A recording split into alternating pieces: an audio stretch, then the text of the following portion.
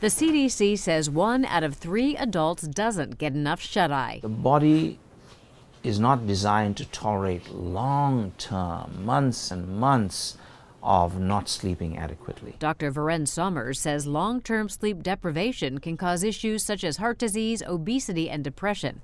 And it can also make health problems you already have worse. There are things that happen during sleep that carry over into the daytime and can have very dramatic effects on causing daytime disease. For example, when you have obstructive sleep apnea, you stop breathing during sleep. Your oxygen levels go down and carbon dioxide levels go up. What that does is raises the sympathetic activity, your fight or flight system.